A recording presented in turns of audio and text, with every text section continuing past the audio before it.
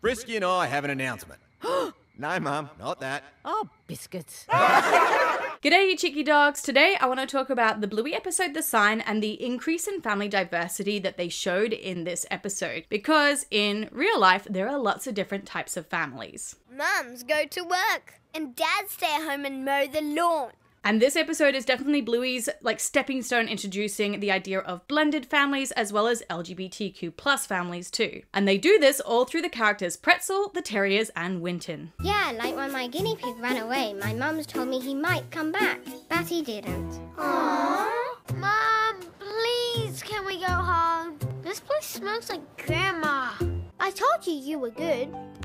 And if you absolutely loved the scene between Winton's dad and the Terrier's mom as much as I did, don't forget to hit that like button down below, as well as that subscribe button and that bell for notifications so you know whenever I release any other Bluey videos. But let's go through this episode and the different types of families that they showed between these sort of three characters. And I'm going to start off with the school scene because that's where a lot of this information starts with. And we're going to start at the beginning with Pretzel and his two mums. Yeah, like when my guinea pig ran away, my mum's told me he might come back, but he didn't. Aww.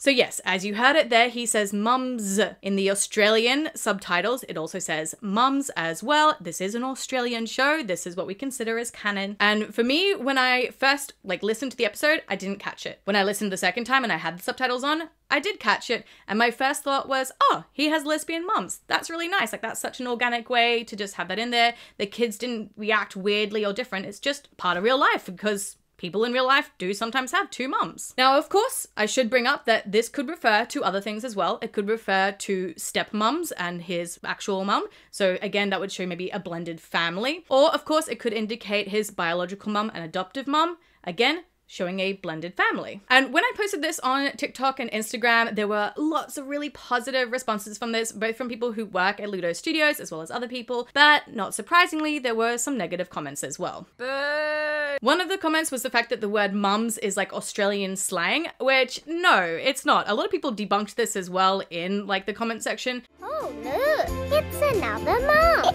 oh dear. How do you remove makeup? But for me, I'm Australian. I grew up in Queensland and never did I call my mum mums as slang. My kids don't, my friends' kids don't in Australia. Hi, Mum. Oh, hello, Bingo. Come with us, Mum. I've never heard that as a thing ever, so I don't count that. Mom. Mom. What is it, Bingo?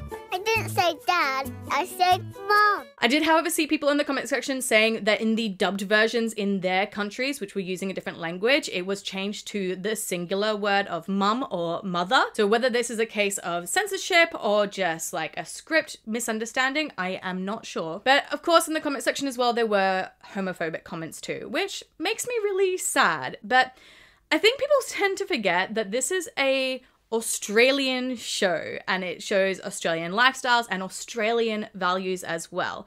And Ludo Studios in particular has no qualms with the idea of LGBTQ plus people or parents or anything like that. Because right now the project that they're working on instead of Bluey is called Willy. It is about a 15 year old boy in Queensland who is going through his sexual awakening and realizing that he likes guys. A lot of the people who work on Bluey as well or at Ludo Studios are also a part of the LGBTQ plus community as well. So Australia isn't as divisive on this subject as say America is. And I felt like that's what I saw in that comment section a lot. Was people more from America having the negative comments, whereas in Australia, this isn't as big of a issue for us, I would say, in general. But cheeky dogs, before I go on to Winton and the Terriers, let me know in that comment section down below if you heard this the first time, if you're in a different country, what does it say? What do you interpret this as? I want to know all your thoughts and feelings down below. But let's go on to the next part of that school scene though, where we hear Winton so sadly talk about the divorce between his mum and dad. My dad doesn't live with my mum and now he's lonely all the time.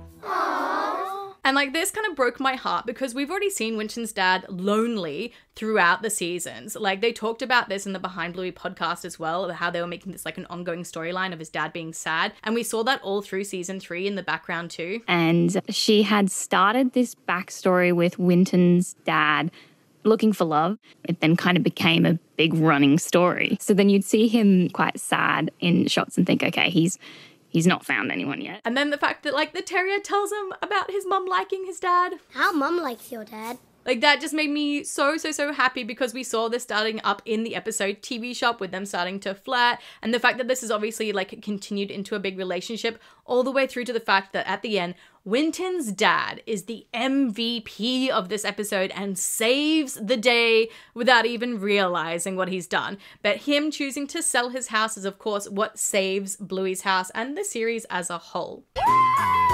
You're in a good mood, Bluey. Yeah, Calypso said that everything was going to work out. So that means those dogs who can't see aren't going to buy our house. God! A pool! What do we do? And he ends up getting his fairy tale ending, just like everyone else, because he is no longer lonely now because he has the terrier's mum. And it was so beautiful seeing them come together and then seeing the boys all in the car yelling hooray and then becoming a blended family of stepmom, stepdad, stepbrothers. Why do stories always have happy endings? Well, I guess because life will give us enough sad ones. And I really hope in season four we get like a Step Brothers episode that might pay like homage to like that movie. I think that would be so funny. But not only does this show a blended family, it also shows a mixed breed family, which is something we don't really see a lot of in Bluey, but they have been putting it in a lot more throughout season three. And of course, mixed breeds, to relate it to real life, would be a interracial or biracial family. And Ludo Studios and Bluey were criticized about this early on, sort of at the end of like season one, start of season two, about the fact that there wasn't as much diversity shown in the show. In general, a lot of the backlash to that was it's a show about dogs, which is perfectly fine. It is a show about dogs. We're dogs, kid. We all have a place in the pack. But on the other side of it though, like it was very much showing the like stereotypical idea of like same breeds, same like opposite genders, like that kind of thing, I should say. So I do feel like Ludo Studios probably, yeah, did take this on and decide to show different types of families, just like how we have different types of families in real life. And the sign was definitely like a stepping board, I think, for that, even with like background characters that we saw that were different breeds to their parents, or different breeds of mums and dads together. But cheeky dogs, let me know in that comment section down below though. What did you think about Winton and the Terriers becoming stepbrothers, about their mum and dads getting together, the house being for sale, all your thoughts and feelings about it, let me know down below. And what other types of families would you like to see on the show? While you're down there as well, don't forget to hit that like button, that subscribe button, and that bell for notifications so you know whenever I release more of Bluey the Sign videos because I have a stack of them coming out. What were you doing in India for so long, Bobber? Well, girls, He was up trying to find himself.